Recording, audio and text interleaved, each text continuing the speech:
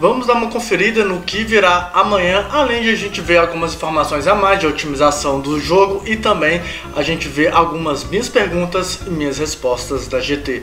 Bem-vindo Cavaleiros Amazonas, é mais vídeo aqui no canal do NEM e vamos dar uma conferida no que, que eles postaram no Face. Então começando, vamos ter aí a convocação do Shijima, ele não será banido né, na primeira semana, muito bom, acho isso muito da hora, né, se pegar o banner e não jogar com ele é paia, independente se ele é quebrado ou não. Teremos a continuação né, do PVP Melee. Lembrando, agora para comprar bilhetes e Doritos somente no fim de semana. E ontem eu postei o meu vídeo lá no NCL, vou deixar indicado nos cards para caso você queira conferir as duas formações que eu utilizei e também você ver o tanto que eu consegui de recompensas e tal, passando algumas dicas do PVP Melee, como é que eu faço mensalmente. Vai estar tá lá o vídeo, 8 minutinhos para vocês darem uma conferida no meu PVP Melee e as minhas recompensas, caso vocês queiram dar uma conferida. Teremos um novo Cosmo, né, que eu não conheço. Ele vai ser disponível no mercado, né? E infelizmente eles não falam se vai ser adicionado algum outro Cosmo ou não. A gente vai ter que descobrir na marra, mas enfim, vamos dar uma conferida. Normalmente fica escrito nos baús de Cosmo, né? Se temos aí algum baú novo para algum Cosmo será adicionado no baú ou não. 4. Nova Pele, Gemini Canon, Redenção Galáctica, aquele, como fala, o concurso de skins que teve finalmente eles vão nos oferecer no última semana de janeiro, né? Eles falaram que era em janeiro.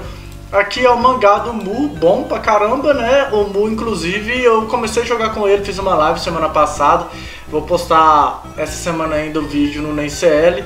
Eu baixei a live pra postar a minha gameplay com o Mu e ele, quatro lutas, ganhei três. Até que foi bem, foi bem aí o Mu. Aí vai ter duas lutas do Mu, do meu Mu, na verdade, lá no NCL. Aqui os seis novos eventos, a roda da fortuna, né? Aquela roda que a gente sempre quer pegar o murmúrio e nunca pega o murmúrio, né? Infelizmente.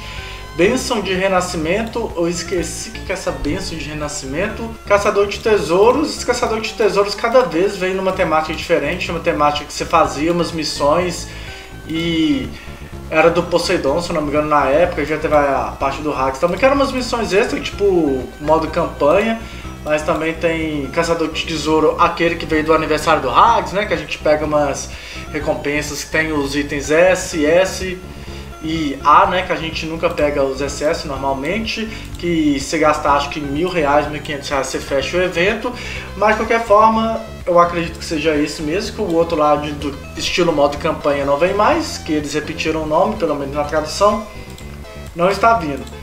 Mas esse caçador do tesouro é legal, mesmo para free to play dá para pegar bastante recursos aí de boa, né?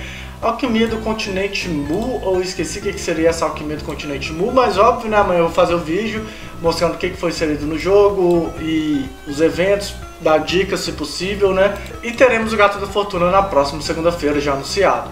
Para finalizar, teremos o evento temático de Masmorra do Shijima, que na verdade é o modo história do Shijima, isso é muito bom, né? A gente sempre pega aí três baúzinhos de frags de livro azul e três baúzinhos de gema normalmente, né, que a gente pode conseguir de 1 a 3, normalmente vem 3, normalmente vem 3, mas você pode ser o sortudo de conseguir pelo menos um a mais do que 3.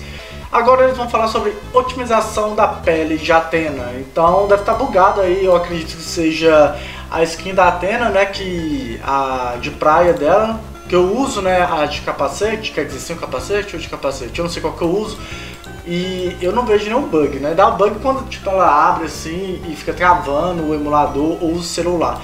Mas como eu não tenho a de praia, então acredito que seja na de praia.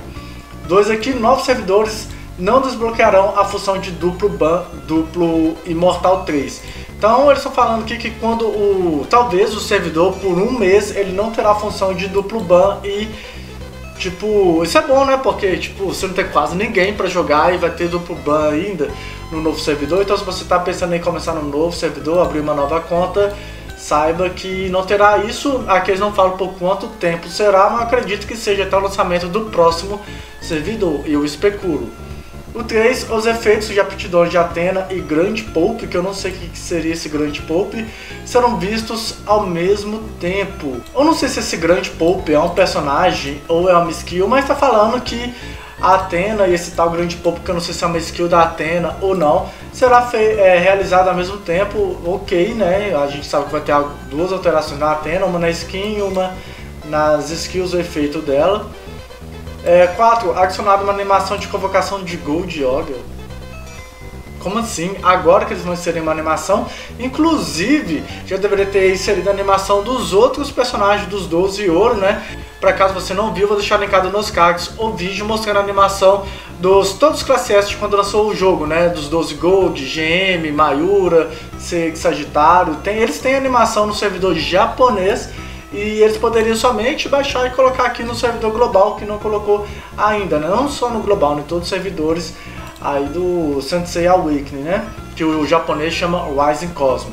Então, beleza, vamos ter uma animação de convocação do Gold Yogg, talvez ele vai ter aquele fundinho do Shun Divino, do Shiryu Divino, enfim. Fica mais bonito, mas poderia colocar dos outros também, que já tem pronto, né? Só upar aí as animações. Continuando, aumento do número de membros da Legião Elite para membros da Legião 5. Isso aqui está falando que vai aumentar o número de membros da Legião Elite, eu nem sei lá, será que Elite seria alguma categoria tipo top rank, porque como a minha legião ela é top faz o que você quiser, mais ou menos assim, né? Então a gente fica bem lá embaixo no ranking. 6 é o desbloqueamento de eventos alterados do nível 13 para o nível 11. É uma diferença legal, né? Mas isso aqui dá para você desbloquear no primeiro dia de jogo. Então, para quem for abrir uma conta nova, quiser começar uma conta no servidor novo, por exemplo, o evento vai ser desbloqueado no nível 11, né? Que era 13. Mas assim, acho que com duas horas de jogo dá para você chegar no nível até 20, se não me engano, né? Isso aí é quando você tem tempo. Quando você tem tempo vai ficar mais difícil subir de level, né? Mas isso aí, então deu uma melhoradinha aí. 7. O tempo para as eliminações e finais de Jamiel serão julgados como offline pelo sistema é alterado de 300 para 60. Ou seja, se o cara foi finalista do Jamiel, sei lá, demorou 5 minutos para logar na luta, né? Tipo, até 10 e 5, deu 10 e 6, por exemplo, ele é desclassificado. Agora não, vai ser 10 e 1. Ou seja, quem for finalista do Jamiel tem que estar tá logado às 10 da noite e entrar na partida. Eu achei um pouquinho radical, eu acho que 60 segundos é muito pouco tempo, né? Sei lá, tipo, se a internet caiu, precisou reconectar. Eu acredito que daqui a alguns meses a gente deva ver alguma alteração sobre isso. Mas só terá alteração se tiver algum problema e alguém reclamar com a GT que olha, fui reiniciar lá o meu PC, fui reiniciar lá o meu celular e eu fiquei como offline. Se todas as lutas ficarem normais, aí não terá essa alteração. Mas se tiver isso reincidente, né, tipo uma vez a cada dois meses, talvez a GT possa alterar isso daqui também, que eu acho que 60 segundos é, é puxado. 8. Otimizar o cálculo mensal do montante do evento de rebate mensal. Eu esqueci que, que seria esse rebate mensal, se é o, no caso, dano em algum boss, 12 templos, desafio ártico, ou acredito que seja alguma coisa nessa vibe, não tenho certeza também. Deixem nos comentários se vocês se lembraram do que que é. Perguntei aqui no zap, ninguém lembrou até o momento que eu fui gravar esse vídeo. E otimizou a lote de exibição de dificuldade do Shrine, que seria o altar, né? E isso aí a gente vai ver o que que eles vão alterar na otimização. Isso é legal que a gente dá, tipo assim, uma especulação que pode vir um o grande mestre, o especialista, não sei, né? Ele tem quatro dificuldades, mas no geral são cinco dificuldades igual ao espaço astral. E sei lá, talvez eles estão otimizando para preparar a última dificuldade em breve, não sei.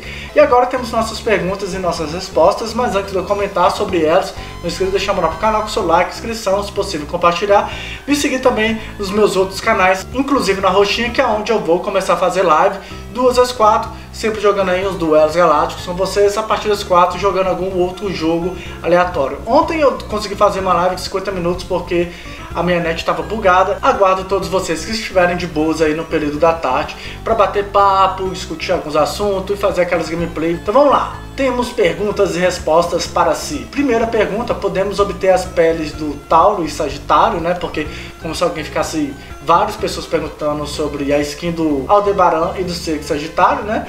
Mas eles falaram que provavelmente a próxima skin depois da do Shura, que ainda não vi, né, o lançamento, vai ser do Sex Sagitário.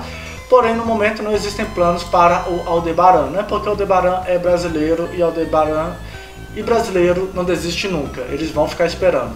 Segundo, haverá mais eventos semelhantes à benção de Rabbit. Eu esqueci no momento qual é esse evento mas eles estão falando que no momento não existem planos para isso, mas vamos considerar a sugestão. Deixe nos comentários também que, que seria essas bênçãos de Rabbit, que eu vou fazer um post no comentário fixado do que vocês estão falando aí que não está traduzido ok aqui, beleza? É só ler o comentário fixado no topo para vocês verem o que, que seria essa tradução.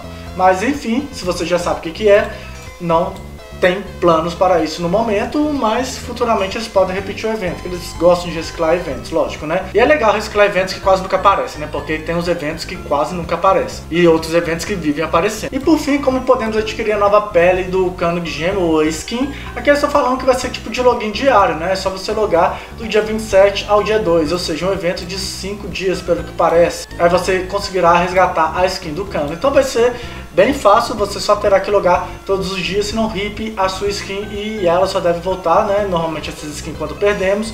Via Pay to Win, né? Quando tem aqueles eventos que dá para comprar skins perdidas por cupons e vai saber algum dia na loja Estrela, beleza? Então é isso, Cavaleiros Amazonas. Isso aí é o que tivemos de otimização, minhas perguntas e minhas respostas e o que teremos para amanhã. Lembrando que Provavelmente teremos aí talvez sexta-feira troca limitada com a poeira divina também. Então, se não vir na amanhã, né, a quarta-feira, teremos aí a troca limitada na sexta-feira que eles nunca anunciam aqui também. Então, comenta aí o que, que você mais gostou dessas novidades aqui, do que, que você não gostou, caso você não gostou de alguma coisa também. E claro, nos vemos no próximo vídeo ou na live. Valeu e fui!